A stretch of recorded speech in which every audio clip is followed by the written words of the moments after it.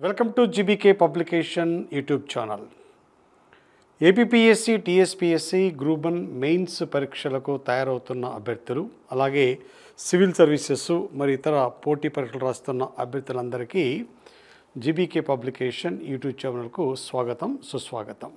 TSPSC group one preliminary exam పూర్తిగా ముగిసిపోయింది. సరే కటాఫ్ గురించి వివిధ రకాలైన అభిప్రాయాలు మార్కెట్లో ఉన్నాయి.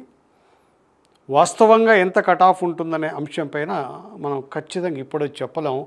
కేవలం ఉజ్జాయింపుగా ఆ విధంగా సోషల్ మీడియాలో విపరీతమైన యొక్క ప్రచారం జరుగుతుంది. అవన్నీ కూడా పరిగణలోకి తీసుకోవటం లేదు. ఇక సీరియస్గా ఉన్న అభ్యర్థులు తప్పనిసరిగా క్వాలిఫై అవుతామనుకున్న అభ్యర్థులు వెంటనే మెయిన్స్ ప్రిపరేషన్ ప్రారంభించాలి. అది ఏపీపీఎస్సీ గ్రూప్ వన్ కావచ్చు లేదా టీఎస్పీఎస్సి గ్రూప్ అని కావచ్చు. ఈ కట్ ఆఫ్ గురించి అనవసరమైన చర్చ చేసి మీ యొక్క అమూల్యమైన టైం వేస్ట్ కావడానికి నాకు ఇష్టం లేదు. అందుకే డైరెక్ట్గా కంటెంట్లోకి మనం వెళ్తాం. గతంలో కూడా చాలామంది యూట్యూబ్లో ఎలా చదవాలి ఎలా చదవాలి విని విని ఆ యొక్క ఎలా చదవాలని విని టైం అంతా వేస్ట్ చేసి ఎగ్జామ్ను బాగా రాయలేకపోయారు. అది మీకు అందరికీ బాగా తెలుసు. కనుక అలాంటి సో టైం వేస్ట్ యూట్యూబర్స్ అలాంటి పనికి మారిన గైడెన్స్తో అభ్యర్థులు బాగా నష్టపోయారని చెప్పేసి ఈరోజు మొత్తం సర్వత్రా అభ్యర్థుల యొక్క సో మనోగతాన్ని మనం అర్థం చేసుకోవచ్చు. ప్రస్తుతం మనము చర్చిస్తున్న అంశం ఇది ఫిలిమ్స్కి ఉపయోగపడుతుంది అలాగే మెయిన్స్ కూడా ఉపయోగపడుతుంది. మెయిన్లీ మెయిన్స్ కోసం దీన్ని మనము పరిగణలోకి తీసుకుందాం. రెండు రోజుల క్రితం కేరళ గవర్నర్ అరీఫ్ మహమ్మద్ ఖాన్ ఒక వివాదాస్పదమైన వ్యాఖ్య చేశాడు. మంత్రులు గవర్నర్ యొక్క విశ్వాసాన్ని కోల్పోతే లేదా- గవర్నర్ మంత్రుల పట్ల తనకున్న విశ్వాసాన్ని అతడు వెనక్కి తీసుకుంటే if we draws the confidence or the pressure on the council of ministers తీసుకుంటే వారిని మంత్రిమండలి నుంచి తొలగించవచ్చు.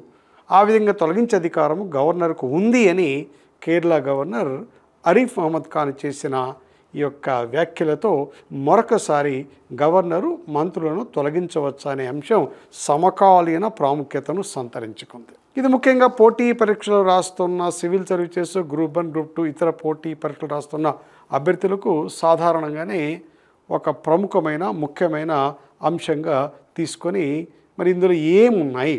రాజ్యాంగపరంగా ఎలాంటి ఏర్పాట్లు ఉన్నాయి నిజంగా గవర్నరు మంత్రులు తొలగించవచ్చా? రాజ్యాంగం దానికి అనుమతిస్తుందా మరి ఏంటి ఆ నేపథ్యం? గతంలో ఏమైనా ఇలాంటి సంఘటనలు జరిగాయా? మరి సుప్రీంకోర్టు ఈ అంశంపై ఏమైనా తీర్పులు చెప్పిందా? ఎందుకు వివాదం అవుతుంది? మరి దీనికి ప్రత్యామ్నాయం ఏమిటి? What is the way forward ఇవన్నీ కూడా మన పరిగణలోకి తీసుకొని మీరు మెయిన్స్లో ఆన్సర్ రాయవలసి ఉంటుంది. ఇక ఫిలిమ్స్లో అయితే ఆ విధంగా తొలగించవచ్చా? ఈ ఆర్టికల్లో ఉంది. ఈ విధంగా ఫ్యాక్చువల్ డేటా అడగడం అనేది జరుగుతుంది. సో ఈ నేపథ్యంలో గవర్నర్ మంత్రులను తొలగించవచ్చు అన్నదానికి మనం వెంటనే ప్రశ్నకు ఆన్సర్ రాయాలి అంటే తప్పనిసరిగా రాజ్యాంగ నేపథ్యాన్ని మీరు ఇవ్వాలి.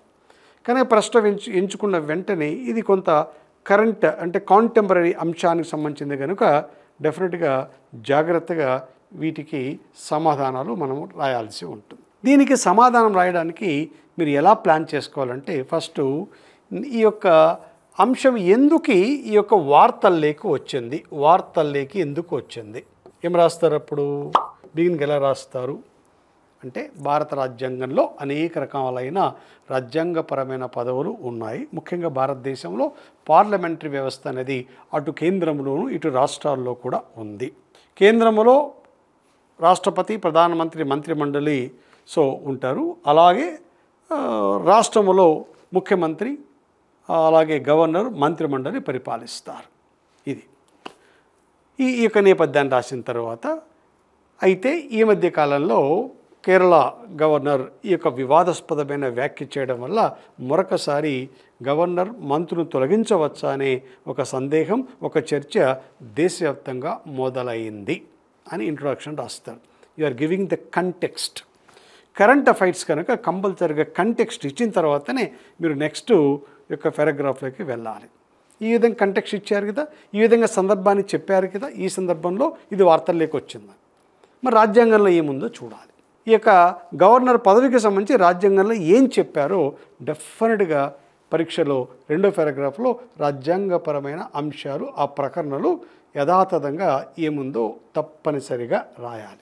ఎందుకంటే మనం ఏ చర్చ చేసినా గవర్నర్కు అధికారం ఉందా లేదా మంత్రులు తొలగించవచ్చా లేదా అనే చర్చ జరగాలి అంటే దానికి ప్రాతిపదిక దానికి ప్రామాణికమైన అంశము రాజ్యాంగంలో ఈ యొక్క గవర్నర్ అధికారాలకు సంబంధించిన ప్రస్తావన ఎక్కడుందో తప్పనిసరిగా ఉటంకించాలి. అంటే యూ హ్యావ్ టు కోట్ అంటాం.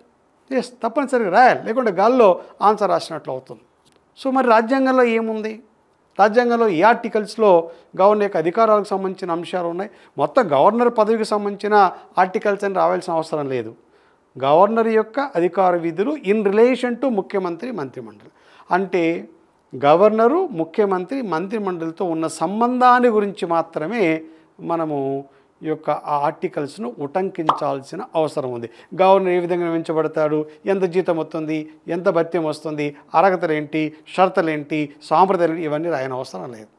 నేరుగా గవర్నర్ యొక్క అధికారాలు దేనికి సంబంధించి? ముఖ్యమంత్రి మంత్రిమండలి నియామకానికి సంబంధించి ఏ యొక్క ప్రకటన ఉన్నాయో వాటిని డైరెక్ట్గా రాయాలి. మరి ఏంటో చూద్దాం. ఏమున్నాయి ఇందులో?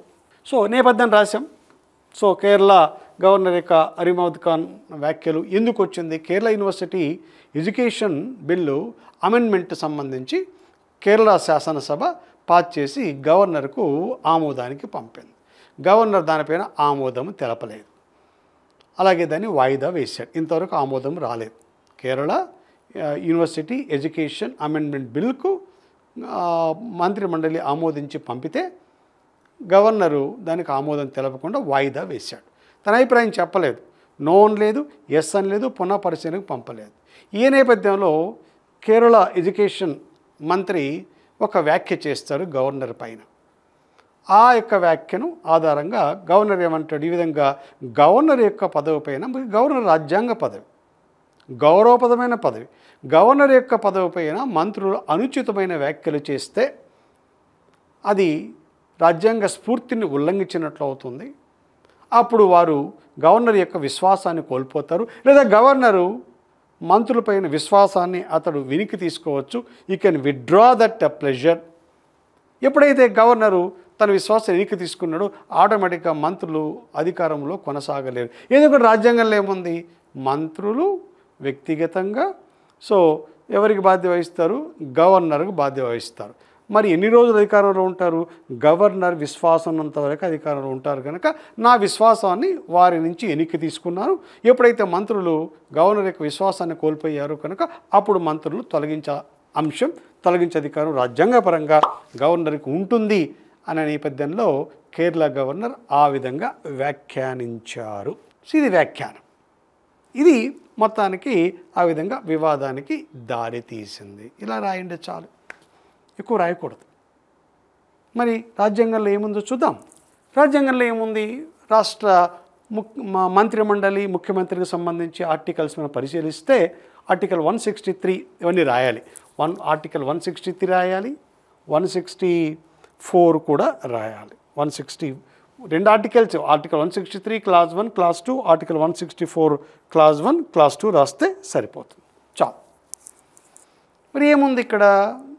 కనుక ఈ భారత రాజ్యాంగంలో ఆరో భాగంలో మనం చూసుకున్నప్పుడు రాష్ట్ర ప్రభుత్వం ఉంది. అందులో ముఖ్యంగా గవర్నరు ముఖ్యమంత్రి మంత్రిమండలి రాష్ట్ర శాసనసభలు ఉంటాయి. అది వేరే విషయం. మనకు అనవసరం. Article one sixty three clause వన్లో ఏముంది? గవర్నరు తన యొక్క విధుల నిర్వహణలో ఎవరి యొక్క సహాయాన్ని సలహా తీసుకుంటాడు?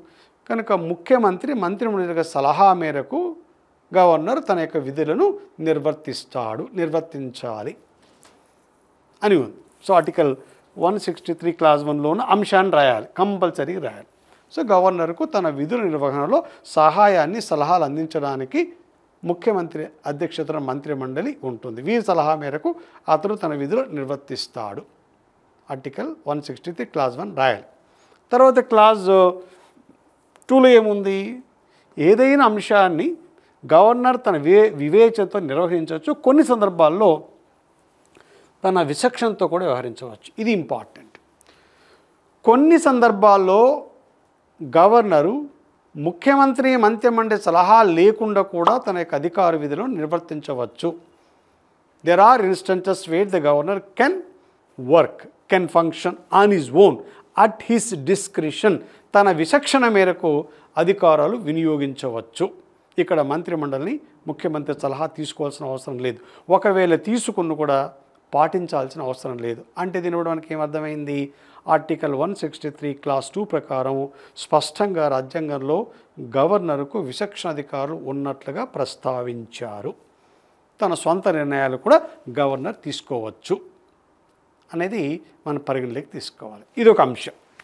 అయితే గవర్నర్ కను విచక్షణ అధికారాలు ఉండడము మంత్రును తొలగించ తొలగించడం అనే దానికి లంకి చేయకూడదు. అది వేరు ఇది వేరు. మంత్రిమండలి సలహా లేకుండా సొంతంగా విధులు నిర్వర్తించవచ్చు. ఆ యొక్క అంశాన్ని ఆ సందర్భాన్ని రాజ్యాంగంలో ప్రస్తావించారు. ఇలాంటి విచక్షణ అధికారాలు రాష్ట్రపతికి లేవు. రాష్ట్రపతి అన్ని వేళలా ప్రధానమంత్రి మంత్రిమండలి సలహా మేరకే విధులు నిర్వర్తించాలి. గవర్నర్ కూడా చాలా సందర్భాలలో ముఖ్యమంత్రి మంత్రిమండలి యొక్క సలహా మేరకే తన అధికార విధులు నిర్వర్తించినప్పటికీ అవసరమైతే రాజ్యాంగపరంగా ఏం చేయొచ్చు? తన యొక్క విచక్షణ మేరకు సొంతంగా కూడా అధికార విధులు వినియోగించుకోవచ్చు అని article one sixty three clause టూలో చాలా కేటగారికల్గా అంటే చాలా స్పష్టంగా ప్రస్తావించారు. అయిపోయింది. ఇంతవరకు చాలు. ఇది ఇది ఇది కాదు వివాదం. నెక్స్ట్ ఆర్టికల్ మనకి వివాదం. తర్వాత ఆర్టికల్ ఇక వన్ సిక్స్టీ త్రీ క్లాస్ టీలో ఏముందంటే మంత్రిమండలి ఇచ్చిన సలహాను న్యాయస్థానంలో ప్రశ్నించరాదు. ఎస్ ఏ సలహాను ఎందుకు ఆ సలహాను మంత్రిమండలి గవర్నర్కి ఇచ్చిందో అది ఏ న్యాయస్థానంలో కూడా ప్రశ్నించరాదు. అంటే న్యాయ సమీక్షకు గురి కాదు. ఈ అంశం మనకు కేంద్రంలో కూడా వర్తిస్తుంది ఆర్టికల్ సెవెంటీ ఫోర్లో కూడా వర్తిస్తుంది. ఇది ఇప్పుడు వివాదం కాదు. దీని గురించి ఎక్కువ రాయాల్సిన అవసరం లేదు. So next article one sixty four clause one ఇది తర్వాత article one sixty four clause two తీసుకుందాం. ఏముంది ఇందులో? Article one sixty four clause వన్లో article one sixty four clause one ప్రకారం ముఖ్యమంత్రిని గవర్నర్ నియమిస్తారు. గవర్నర్ అపాయింట్స్ చీఫ్ మినిస్టర్ అది మామూలు. సో ఎవరు నియమించాలి అనేది అది వేరే విషయం. మెజారిటీ ఉన్నవారు నియమిస్తాడు. ఇది అన్నీ రాయనక్కర్లా. So article one sixty four clause ఇది exam point of view pin పాయింటెడ్గా రాయాలి. మీకు విషయం తెలుసు కదని చెప్పేసి అంతా రాసుకుంటూ వెళ్తే సమయం సరిపోదు. అర్థమైంది కదా? అదే ప్రిలిమినరీలో విషయం చాలా ఇచ్చాడు. విస్తృతంగా క్వశ్చన్ పేపర్ రావడం వల్ల చాలామంది అభ్యర్థులకు అన్ని ప్రశ్నలకు ఆన్సర్ చేయడానికి అవసరమైన సమయం సరిపోలేదు. సమయం సరిపోయింటే ఇంకా పది క్వశ్చన్లు ఆన్సర్ చేసే పరిస్థితులు విద్యార్థులు అభ్యర్థులు ఉన్నారు. అవి అది వేరు ఆ విషయం వేరు. కనుక ఆర్టికల్ వన్ సిక్స్టీ ఫోర్ క్లాజుల ప్రకారం సో ఈ విధంగా ముఖ్యమంత్రి గవర్నర్ చేత నియమించబడతాడు. అర్థమైంది? గా అలాగే ముఖ్యమంత్రి సలహా మేరకు ఇతర మంత్రులు నియమించబడతారు. సో కనుక ముఖ్యమంత్రి సలహా మేరకు ఇతర మంత్రులు నియమించబడతారు. అలాగే మంత్రులు వ్యక్తిగతంగా గవర్నర్కు బాధ్యత వహిస్తారు. వ్యక్తిగతంగా గవర్నర్కు బాధ్యత వహిస్తారు. కనుక వారు వ్యక్తిగతంగా గవర్నర్కు బాధ్యత వహిస్తారు అంటే అర్థం ఏంటి? గవర్నర్ విశ్వాసం ఉన్నంతవరకు అధికారంలో ఉంటారు. కనుక గ- గవర్నరు ఇతర మంత్రులను ముఖ్యమంత్రి సలహా మేరకు నియమిస్తున్నాడు. వారు వ్యక్తిగతంగా గవర్నర్ బాధ్యత వహిస్తారు. గవర్నర్ విశ్వాసం ఉన్నంతవరకు అధికారంలో ఉంటారు అనేది article one sixty four clause one. ఇది ఇప్పుడు ఇది ఇప్పుడు ప్రధానంగా మనకు వార్తల్లోకి వచ్చిన అంశం. ఇక మంత్రులంతా కూడా సంయుక్తంగా విధానసభకు బాధ్యత వహిస్తారు. So collective responsible to state assembly and individually accountable responsible to the governor article one sixty four clause one clause two ఈ రెండు మన పరిగణలోకి తీసుకొని ఈ రెండింటిని మనం వివరించాలి. మంత్రులు వ్యక్తిగతంగా గవర్నర్కి బాధ్యత వహించి గవర్నర్ విశ్వాసం ఉన్నంతవరకు అధికారంలో ఉంటారు అంటే అర్థం ఏమిటి? ఏమర్థం అర్థం వస్తుంది రాజ్యాంగపరంగా తీసుకుంటే మనం ప్లెయిన్గా రీడింగ్ చేస్తే ఏమొస్తుందంటే గవర్నర్ ఎప్పుడైనా మంత్రుల పట్ల తన విశ్వాసాన్ని వెనక్కి తీసుకుంటే if he withdraws the pleasure or the confidence from the council of ministers and definitely they have to resign or they can be dismissed అంతే కదా? నీవు నా విశ్వాసనంత వరకు అందులో ఉంటావంటే నా విశ్వాసాన్ని ఎప్పుడు కోల్పోతావు? ఎందుకు కోల్పోతావు? నా విశ్వాసాన్ని కోల్పోయావు. కనుక లేదా నా విశ్వాసాన్ని నీ నుంచి ఉపసంహరించుకుంటున్నాను. అప్పుడు ఆటోమేటిక్గా మంత్రులు రాజీనామా చేయాలి. లేదా గవర్నర్ వాళ్ళని బర్తర్ఫు చెయ్యవచ్చు ఇది అర్థం. ప్లెయిన్గా తీసుకున్నప్పుడు ఇది అర్థం వస్తుంది. ఆ ఆ మేరకే కేరళ గవర్నర్ తన యొక్క వ్యాఖ్యానం చేయడం జరిగింది.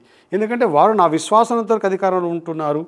వారి పట్ల నాకు విశ్వాసం పోయింది. లేదా వారి నుంచి వారి నా యొక్క విశ్వాసాన్ని వారి పట్ల నుంచి వెనక్కి తీసుకున్నాను. కనుక వారిని తొలగించవచ్చు అని అన్నాడు. సో తొలగించలేదనుకోండి అది వేరే విషయం. ఇలా తొలగించడానికి వీలు లేదని చెప్పేసి వాదం వస్తుంది. మీరు ఎట్లా అర్థం చేసుకోవాలి దీన్ని? రాజ్యాంగపరంగా చదివినప్పుడు గవర్నర్కు మంత్రులను తొలగించే అధికారం ఉంది. సందేహం లేదు. ఎందుకంటే కండిషన్స్ లేవు ఇక్కడ. నా విశ్వాసనంత వరకు అధికారంలో ఉంటావు అని కండిషన్స్ పెట్టలేదు. షరతులు లేవు. ఇది షరతులు లేని విశ్వాసం. అన్కండిషనల్ ఇది. ఎప్పుడు విశ్వాసం కోల్పోతారు కూడా చెప్పలేదు. కనుక ఆ విధంగా అన్కండిషనల్గా ఉంది కనుక గవర్నర్ వారిని తొలగించవచ్చు అనేది ఒక వాదన.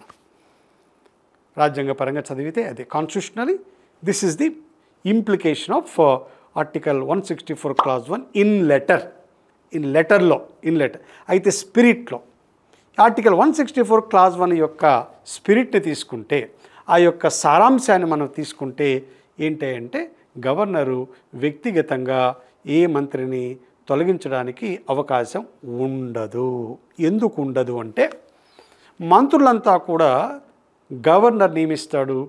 మంత్రుల నియామకంలో గవర్నర్కు ఎలాంటి ఏంటి అధికారాలు ఉండవు. ముఖ్యమంత్రి చేతి ఎవరైతే సిఫారసు చేయబడతారో వారిని మాత్రమే మంత్రులుగా నియమించాలి. కనుక తనకు నచ్చిన వారిని ముక్ మా- మంత్రులుగా నియమించే అధికారం గవర్నర్కు ఉండదు. కనుక ముఖ్యమంత్రి సలహా మేరకు నియమించినప్పుడు తొలగింపు కూడా ముఖ్యమంత్రి సలహా మేరకే జరగాలి. కనుక ముఖ్యమంత్రి సలహా లేకుండా గవర్నరు వాస్తవానికి మంత్రులను తొలగించడానికి అవకాశం లేదు. అది పార్లమెంటరీ వ్యవస్థకు వ్యతిరేకం. కనుక రాజ్యాంగపరంగా చదివినప్పుడు లెటర్ పరంగా ఒక మీనింగ్ వస్తుంది. దాన్ని సారాంశాన్ని తీసుకున్నప్పుడు ఒక మీనింగ్ వస్తుంది. కనుక పార్లమెంటరీ వ్యవస్థ ప్రకారం గవర్నరు వ్యక్తిగతంగా ముఖ్యమంత్రి సలహా లేకుండా మంత్రులను తొలగించలేడు. మరి విశ్వాసనంత అధికారంలో ఉంటున్నారు కదా అంటున్నారు. విశ్వాసనంత వరకు అధికారంలో ఉంటున్నాడు అనేది కేవలం రాజ్యాంగపరమైన అంశం. It is a euphemistic expression ఇది ఒక భ్రమ. ఎస్ కనుక రాజ్యాంగ పరంగా ఆ విధంగా చెప్పారు. ఏ నిబంధనలు చెప్పారు అంటే అనగా మంత్రులను తొలగించాలి అంటే ముఖ్యమంత్రి సలహా ఉండాలి అనే యొక్క అర్థం వచ్చే విధంగా తీసుకోవాలి తప్ప నేరుగా ఆ లెటర్ను పట్టుకొని అందులో యథాతథంగా చదివి ఆ విధంగా గవర్నరు మంత్రులను తొలగించవచ్చు ముఖ్యమంత్రి సలహా లేకుండా అనడానికి అవకాశం లేదు. ఇది ఒక వ్యాఖ్యానం. సో రెండవది ఏంటి? మరి దీని యొక్క article one sixty four clause one ఇంకా మనం బాగా అర్థం చేసుకోవాలంటే article one sixty four clause టూను కూడా చదవాలి. ఒకదానికి ఒకదానికి లింక్ ఉంటుంది. మంత్రులంతా కూడా సంయుక్తంగా విధానసభకు లేదా అసెంబ్లీకి బాధ్యత వహిస్తారు. విధానసభలో మెజారిటీ ఉన్నంత వరకు అధికారంలో కొనసాగుతారు అనేది ఇక్కడ అర్థం. One article one sixty four clause టూలో విధానసభలో మెజారిటీ ఉన్నంత వరకు అధికారాన్ని కలిగి ఉంటారు. ఈ మెజారిటీ కోల్పోతే రాజీనామా చేస్తారు. లేకుంటే గవర్నర్ వారిని బర్తరఫ్ చేయొచ్చు. మొత్తం ముఖ్యమంత్రి మంత్రిమండలి మొత్తానికి బర్తరఫ్ చేయొచ్చు. ఇప్పుడు శాసనసభ విశ్వాసాన్ని కోల్పోయినప్పుడు. ఇంకా ఎప్పుడు వారిని బర్తరఫ్ చేయొచ్చు? ఏదైనా రాష్ట్ర ప్రభుత్వం రాజ్యాంగపరంగా పరిపాలన కొనసాగలేదనుకున్నప్పుడు లేదా ఆ రాష్ట్రంలో రాజ్యాంగపరమైన వైఫల్యం జరిగిందనుకున్నప్పుడు రాజకీయ సంక్షోభం ఏర్పడి ఏర్పడిందనుకున్నప్పుడు ఆర్టికల్ మూడు వందల యాభై ఆరు emergency article three fifty six ప్రకారం గవర్నర్ సలహా మేరకు రాష్ట్రపతి ఆ యొక్క ముఖ్యమంత్రి తర్వాత మంత్రిమండలిని తొలగించవచ్చు. అది వేరు. అది త్రీ ఫిఫ్టీ సిక్స్ అది ఎమర్జెన్సీ. గవర్నర్ కూడా ముఖ్యమంత్రి మంత్రిమండలిని ఎప్పుడు తొలగిస్తాడు అంటే అక్కడ రాజకీయ సంక్షోభం ఏర్పడింది. ఏ పార్టీ కూడా అధికారంలో పార్టీ విశ్వాసాన్ని కోల్పోయింది అనుకున్నప్పుడు డెఫినెట్గా గవర్నరు ముఖ్యమంత్రి మంత్రిమండలిని బత్తరఫు చేయొచ్చు. ఇది రాజ్యాంగ పరంగా. ఈ రాజ్యాంగ పరంగా వ్యాలిడ్. అది కాదు ఇక్కడ.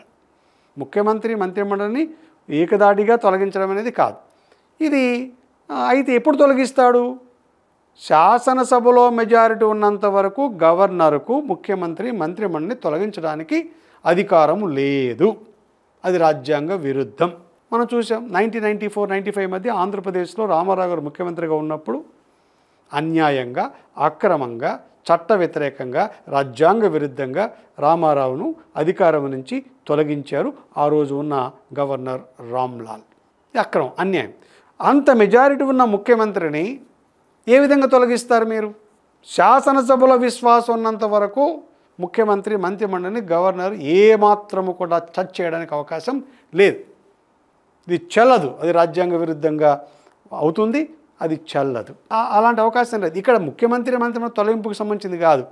మంత్రులు తొలగింపుకు సంబంధించిన చర్చ జరుగుతోంది ప్రస్తుతం. కనుక ఇక్కడ article one sixty four clause two తీసుకున్నప్పుడు ముఖ్యమంత్రి మంత్రి కూడా సభ విశ్వాసంతో అధికారంలో ఉంటారు అంటే అది విశ్వాసం పోతే అధికారం నుంచి తొలగించబడతారు. మంచిది. మరి ఇప్పుడు మనకి ఏమవుతుంది రెండు రకాల అర్థాలు వస్తున్నాయి కదా. రెండు పవర్ సెంటర్స్ అవుతాయి కదా. ఒకవైపు ఏమో గవర్నరు మంత్రులను తొలగించే అధికారం ఉంది. రెండో వైపు ఏమో article one sixty four clause టూలో శాసనసభ విశ్వాసం కోల్పోతే మంత్రులు రాజీనామా చేస్తారు. అది ఎలా అవుతుంది? అలా అవడానికి వీలు లేదు కదా. అంటే రెండు ఒకే ఒకే సమయం రెండు పవర్ సెంటర్స్ పనిచేయడానికి అవకాశం ఉండదు కదా. కనుక article one sixty four clause one clause two మనం కలిపి చదువుకున్నప్పుడు ఏమవుతుందంటే ఇక్కడేమో శాసనసభలో మెజారిటీ ఉన్నంత వరకు గవర్నరు ముఖ్యమంత్రి మంత్రిమండలి టచ్ చేయడానికి అవకాశం లేదు. స్పష్టంగా తెలుస్తుంది. పైన ఏమంటున్నారు? మంత్రులు వ్యక్తిగతంగా గవర్నర్కి బాధ్యత వహిస్తారు. గవర్నర్ విశ్వాసం ఉన్నంతవరకు అధికారం ఉంటారు కనుక తొలగించవచ్చు అంటున్నారు. ఈ రెండింటిని కలిపి చదువుకున్నప్పుడు మనం గమనించాలి ముఖ్యమంత్రి సలహా లేకుండా గవర్నరు ఇతర మంత్రి తొలగించలేడు. అలాగే శాసనసభలో మెజారిటీ ఉన్నంత వరకు ముఖ్యమంత్రిని మంత్రిమండలిని గవర్నర్ తొలగించలేడు. కనుక రాజ్యాంగంలోని అంశాన్ని లెటర్ పరంగా యథాతథంగా పై పైన చదివి మనం ఆ విధంగా అర్థం చేసుకోవడానికి అవకాశం లేదు. కనుక దీని బట్టి మనకి ఏమర్థమైందంటే article one sixty sixty four clause one clause two ప్రకారం రెండు కలిపి చదువుకున్నప్పుడు గవర్నరు మంత్రులను తొలగించడానికి అవకాశము లేదు. మరి లేదనుకున్నప్పుడు మంత్రులు ఎవరైనా రాజ్యాంగ వ్యతిరేకంగా పనిచేస్తున్నప్పుడు వారిపైన తీవ్రమైన అవినీతి ఆరోపణలు వచ్చినప్పుడు నేర ఆరోపణలు వచ్చినప్పుడు ఆ మంత్రులను వెంటనే ముఖ్యమంత్రి తొలగించాలి. మరి ముఖ్యమంత్రి ఆ మంత్రులు తొలగించాడు. వారిపైన తీవ్రమైన ఆరోపణలు వచ్చాయి. మరి అప్పుడు గవర్నర్ వారిని తొలగించాలా వద్దా? గవర్నర్ రాజ్యాంగపరంగా పరిపాలన చేయాలి కదా. కనుక తీవ్రమైన తీవ్రమైన ఆరోపణలు ఎదుర్కొంటున్న మంత్రులు ఉన్నారే వారిని మంత్రిమండలి నుంచి తీసేయమని చెప్పేసి గవర్నర్ ముఖ్యమంత్రిని కోరవచ్చు. మరి ముఖ్యమంత్రి ఆ విధంగా వారిని తొలగించమని గవర్నర్కి సిఫారసు చేయకపోవచ్చు కదా. అప్పుడు ఇంకా అప్పుడు ఏంటి పరిస్థితి? అంటే అప్పుడు ఆ మంత్రులు వారిపైన ఇచ్చిన ఆరోపణలు అవన్నీ కూడా ఉన్నప్పుడు కూడా పదవిలో కొనసాగవచ్చా? మరి అలాంటి సమయంలో మంత్రులు గవర్నర్ తొలగించలేడా? అనేది ఒక సంశయం వస్తుంది. అప్పుడు ఏమంటారు article one sixty four clause one ప్రకారం అలాంటి పరిస్థితుల్లో నేరుగా గవర్నర్ ముఖ్య ఏది మంత్రులను తొలగించే అవకాశం ఉంటుందా? అనే చర్చ వస్తుంది. అప్పుడు కూడా నేరుగా గవర్నరు ఆ మంత్రులను తొలగించలేడు. బట్ ముఖ్యమంత్రిని మాత్రం పట్టుబట్టచ్చు. ఆ మంత్రులు మీరు తప్పనిసరిగా మీరు తొలగించాల్సిందని చెప్పేసి పట్టు పట్టుబట్టవచ్చు లేదా ఈ విషయాన్ని రాష్ట్రపతి కూడా నివేదించవచ్చు. అలా చేయొచ్చు. అంతేగాని నేరుగా ఆ విధంగా మంత్రులు తొలగించేందుకు రాజ్యాంగపరంగా మనము ఆ విధంగా వ్యాఖ్యానించడానికి అవకాశము లేదు. ఇది రాజ్యాంగంలో ఉన్న అంశం. మరి దానికి సంబంధించిన యొక్క సో స్ఫూర్తి. ఇది మనము రెండో పారాగ్రాఫ్లో ఈ విధంగా ఎక్స్ప్లెయిన్ చేస్తాం. తరువాత మరి ఇంకేమున్నాయి? ఇవన్నీ చెప్పాను కదా పాయింట్లన్నీ కూడా. సో ఈ పాయింట్లన్నీ కూడా ఈ విధంగా రాయాలి. ఈ విధంగా మీరు రాయాలి ఎగ్జామ్లో ఈ చెప్పిన పాయింట్ నేను చెప్పిన ఎక్స్ప్లెనేషన్ అంతా కూడా పాయింట్ రూపంలో ఆ విధంగా సో రాయాలి. రాసిన తర్వాత ఇక సుప్రీంకోర్టు సుప్రీంకోర్టు చాలా కేసుల్లో ఈ అంశం పైన తీర్పులు చెప్పింది. నైన్టీన్ సిక్స్టీ నైన్లో ప్రఫుల్ల కేసులో కూడా సుప్రీంకోర్టు ఏమంటుందంటే గవర్నర్కు రాజ్యాంగపరంగా మంత్రులను వ్యక్తిగతంగా అంటే ముఖ్యమంత్రి సలహా లేకుండా తొలగించే అధికారము లేదు. అది పార్లమెంటరీ వ్యవస్థకు విరుద్ధమని చెప్పింది. అంటే గవర్నర్ విశ్వాసం వరకు ఉంటారనేది రాజ్యాంగపరంగా ఒక లాంఛనప్రాయమైన అంశమేని పేర్కొనుంది. కానీ గవర్నర్ విశ్వాసం ఉన్నంత వరకు మంత్రులు ఉంటారనేది కేవలం ఒక రాజ్యాంగపరంగా ఒక లాంఛనపరమైన అంశమే. It is a and euphemistic aspect లాంఛనం. ఏ విధంగా అయితే రాష్ట్రపతికి గవర్నర్కు రాజ్యాంగపరంగా అన్ని అధికారులు ఇచ్చారో. అది దట్ ఈజ్ ఓన్లీ సెరిమోనియల్ అంత మాత్రం గవర్నరు జోక్యం చేసుకొని తొలగించే అవకాశం లేదు. కనుక గవర్నర్ విశ్వాసం అనేది రాజ్యాంగపరంగా ఒక లాంఛనప్రాయమైనదే అని సుప్రీంకోర్టు గతంలో చెప్పింది కనుక సో ఆ విధంగా సుప్రీంకోర్టు తీర్పు ప్రకారం కూడా గవర్నరు వ్యక్తిగతంగా మంత్రులను తొలగించలేడు అనేది రూఢి అయిన అంశం. ఓవర్. ఈ విధంగా రాస్తాం. రాసిన తర్వాత ఇక కంక్లూజన్ ఇవ్వాలి కదా మనం. సో అలా first paragraph second third paragraph అయింది. ఇక కంక్లూజన్ రాస్తాం. తరచుగా గవర్నర్ యొక్క అధికార విధులకు సంబంధించి గవర్నర్ యొక్క పాత్ర గురించి ఏమవుతున్నాయి? వివాదాలు తలెత్తుతున్నాయి. ఈ నేపథ్యంలోనే గవర్నరు కేరళ గవర్నర్ యొక్క వ్యాఖ్యానాలు కూడా ప్రముఖంగా వార్తల్లోకి వచ్చాయి. ఒక బిల్లును గవర్నర్ యొక్క ఆమోదానికి పంపినప్పుడు అతను ఆమోదించవచ్చు తిరస్కరించవచ్చు తర్వాత పునః పరిశీలన పంపవచ్చు లేకుంటే రాష్ట్రపతి యొక్క ఆమోదానికి నివేదించవచ్చు. ఈ నాలుగు అంశాలే చేయాలి బిల్లు పైన తన అభిప్రాయం చెప్పకుండా ఒక టైం పీరియడ్ లేకుండా ఇనార్డినేట్గా ఇండెఫినెట్గా బిల్లు పైన మౌనాన్ని కలిగి ఉండడం అనేది మంచి సాంప్రదాయము కాదు. గవర్నర్ తప్పనిసరిగా తన అభిప్రాయం చెప్పాలి. కేరళ యూనివర్సిటీ ఎడ్యుకేషన్ బిల్లు లోపాలు ఉన్నాయంటే ఈ లోపాలు ఉన్నాయని చెప్పేసి తిరిగి మంత్రిమండలి పునఃపరిశీలనకు పంపాలి మీరు. పంపట్లేదు. ఈ విధంగా ఇనార్డినేట్గా టైం ఫ్రేమ్ లేకుండా తన యొక్క అభిప్రాయాన్ని వాయిదా వేయడం అనేది సస్ రాజ్యాంగ సాంప్రదాయము కాదు. కాదు. ఎందుకంటే గవర్నరు స్టేట్ యూనివర్సిటీలకు ఛాన్సలర్గా ఉంటాడు. గవర్నరు రాష్ట్ర యూనివర్సిటీలకు ఛాన్సలర్గా ఉండడం అనేది రాజ్యాంగంలో లేదు. ఆ రాష్ట్ర శాసనసభలు చట్టము ద్వారానే యూనివర్సిటీలు ఏర్పడతాయి. ఆ రాష్ట్ర శాసనసభ చట్టంలో ఎలా ఉంటే వాళ్ళు ఛాన్సలర్ అవుతారు. గవర్నర్ అయినా ఛాన్సలర్ కావచ్చు ముఖ్యమంత్రి అయినా ఛాన్సలర్ కావచ్చు ఇంకా ఏది వేరే వ్యక్తిని కూడా ఆ యూనివర్సిటీకి ఛాన్సలర్గా ఉండే విధంగా చట్టం చేసుకోవచ్చు. కేవలం రాష్ట్ర శాసన సభ చట్టం ప్రకారం మాత్రమే గవర్నర్కు ఛాన్సలర్ యూనివర్సిటీస్ అనే అంశాన్ని పొందుపరుస్తారు. అలా ఎప్పుడైతే ఛాన్సలర్ అనే దాన్ని మనం గవర్నర్గా గవర్నర్ ఉంటారని పెట్టుకుంటామో అంటే అర్థం ఏంటి? రాష్ట్ర శాసనసభ నిర్ణయిస్తుంది. అంటే నేను అధికారుల పరిమితం. మరొక చట్ట సవరణ చేసి అసలు గవర్నరు రాష్ట్ర యూనివర్సిటీ ఛాన్సలర్గా ఉండరు అని చట్టం చేసినా కూడా రాజ్యాంగపరంగా చెల్లుబాటు అవుతుంది. ఎందుకంటే రాజ్యాంగంలో గవర్నరు ఛాన్సలర్ అని చెప్పేసి ఎక్కడా లేదు. ఆ రాష్ట్ర శాసనసభ చట్టం ద్వారానే ఆ విధంగా నిర్ణయించింది. మరి అలాంటి విషయంలో మరి మీరు ఆ చట్టాలు అమలు కాకుండా అడ్డుపడుతుంటే ఒకవైపే ముఖ్యమంత్రి మంత్రిమండలి శాసనసభ చట్టాలు చేస్తే మీరు ఆ చట్టాలు అమలు కాకుండా అడ్డుపడితే ఈ విధంగా రెండు రకాలైన పవర్ సెంటర్స్ వస్తాయి కదా. ముఖ్యమంత్రి మంత్రిమండలిలో ఒకవైపు పవర్ సెంటర్లో ఉంటే గవర్నర్ మరొ మరొక వైపు పవర్ సెంటర్లో ఉంటాడా? తప్పు కదా. ఆ విధంగా రెండు పవర్ సెంటర్స్ ఉండడానికి అవకాశం లేదు. గవర్నరు ఆ రాష్ట్రంలో ప్రభుత్వం రాజ్యాంగపరంగా పని చేస్తుందా లేదో చూడాలి. ఆ బాధ్యత ఉంది. అంతవరకే బాధ్యత. నువ్వు గవర్నెన్స్ లేకి పరిపాలన లేకి నేరుగా జోక్యం చేసుకుంటాను. పరిపాలన అనేది గవర్నర్ యొక్క విధి కాదు. పరిపాలన అనేది ముఖ్యమంత్రి మంత్రిమండలి యొక్క విధి. ఆ పరిపాలన సజావుగా సక్రమంగా రాజ్యాంగ విలువలకు రాజ్యాంగ సాంప్రదాయాలకు రాజ్యాంగ అంశాలకు అనుగుణంగా ఉందో లేదో చూడవలసిన బాధ్యత మాత్రమే గవర్నర్ది.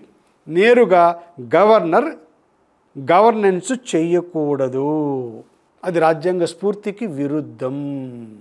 సో కనుక ఈ అంశాలని మనం పరిగణలోకి తీసుకున్నప్పుడు గవర్నర్లు చాలామంది రాజకీయ ప్రయోజనాల కోసము ఇతరత్ర కారణాల వల్ల కొంత వివాదాస్పదమవుతున్న వాస్తవమే.